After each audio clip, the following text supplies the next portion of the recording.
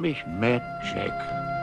Und wenn es in diesen Bergen irgendjemanden gibt, der die wahre Geschichte von James Adams kennt, bin ich es. Also schreibe ich sie auf, wie sie sich zugetragen hat, in der Hoffnung, dadurch alles richtig zu stellen. Mein Freund Adams wurde eines Verbrechens beschuldigt, das er nicht begangen hatte.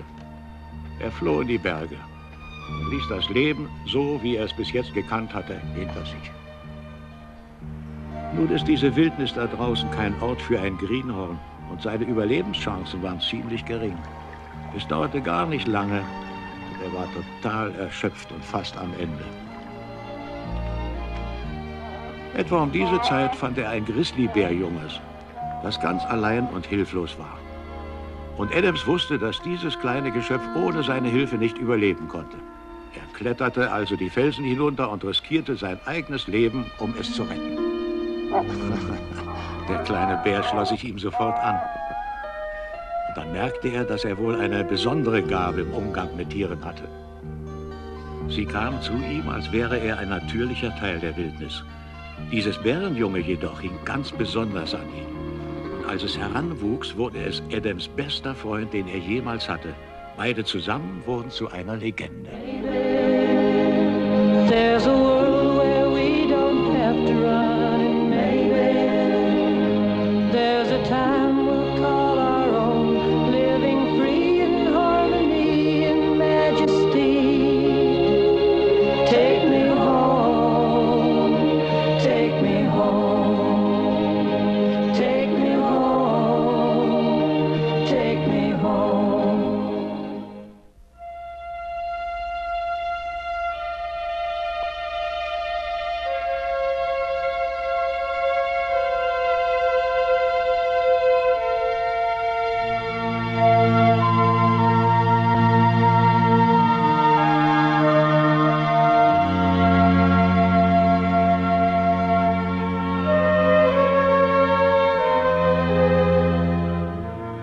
Die Berge sind mit das Schönste, was ein Mann sehen kann, wenn er morgens die Augen öffnet.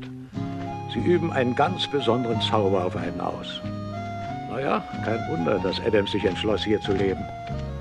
Ich erinnere mich noch an die Tage, als er zum ersten Mal in die Berge kam, völlig ahnungslos. Kaum, dass er einen Baum von einem Stein unterscheiden konnte.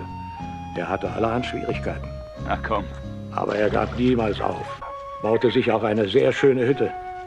Er richtete sich dort ein und lernte das Land und die Tiere kennen. Das war damals um die Zeit, als er den kleinen Robbie Cartman und seinen Vater traf.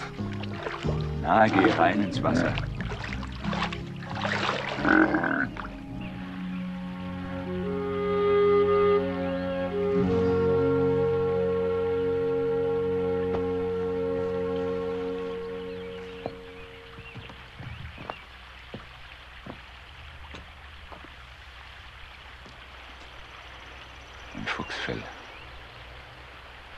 Ich habe doch hier noch nie Füchse gesehen.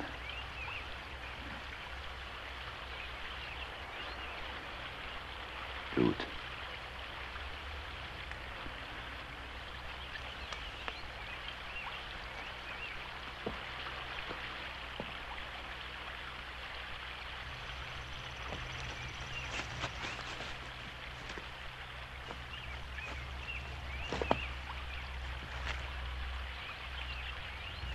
Wenn er verletzt ist, ist er wahrscheinlich nicht sehr weit gekommen.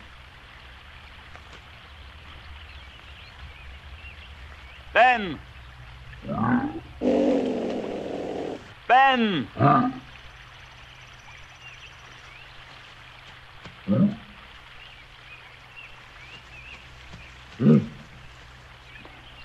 Ben, da ist Blut an dem Fuchsfell. Ich brauche deine Hilfe, um die Fährte zu finden. Lauf zu.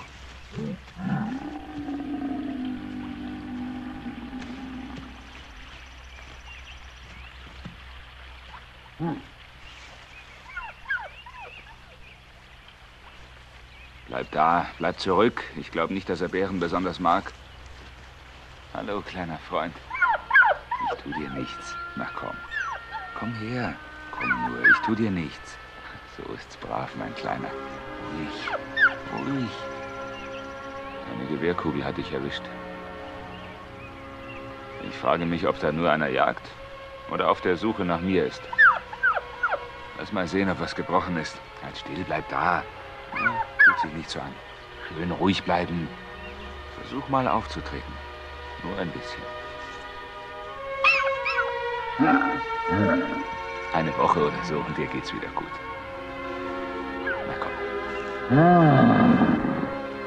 Immer mit der Ruhe ist ja gut. Das ist nur der alte Ben. An den wirst du dich gewöhnen. Komm, Ben, gehen wir. Na komm.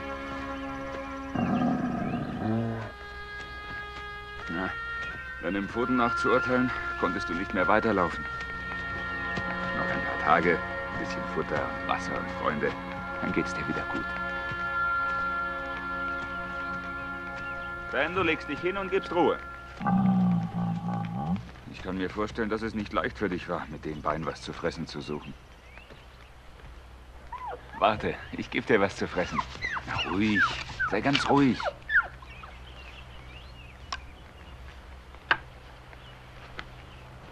Gleich geht's dir besser.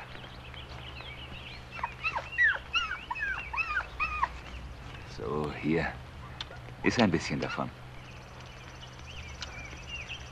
Mir scheint, als könntest du ein bisschen Wasser vertragen.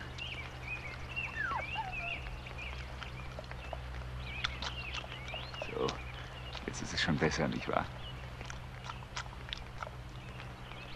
Wenn mich wirklich jemand sucht, würde ich dem lieber zuvorkommen.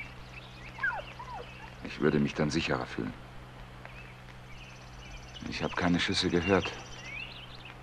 So nah können sie noch nicht sein. Aber wer sie auch sind, sie sind nah genug. Komm, Ben. Wir suchen lieber diesen Jäger, bevor er uns findet. Der kleine Fuchs ist versorgt, bis wir wiederkommen. Wenn da draußen jemand ist, der uns sucht, müssen wir weiterziehen. Das weißt du ja, nicht wahr?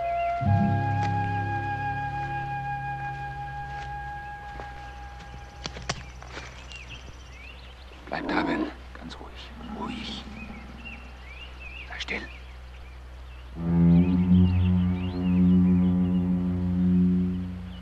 Baum versteck dich.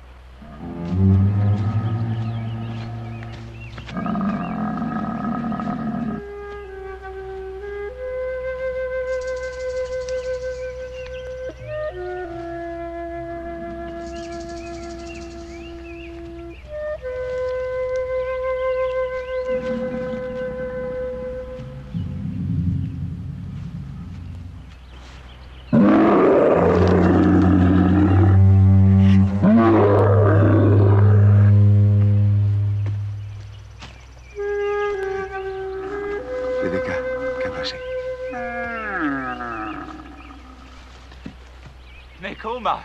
Nekoma! Adams! Eins lasst euch sagen. Wenn ihr jemals in diesen Bergen etwas sucht, dann hofft darauf, Nekoma zu begegnen. Dieser Indianer kennt jedes Blatt an jedem Baum. Und nicht nur das, er weiß auch, was sich dahinter oder darin versteckt. Was ist los, Nekoma? Was gibt's? Komm, Ben. Wir sehen mal nach, was da nicht stimmt.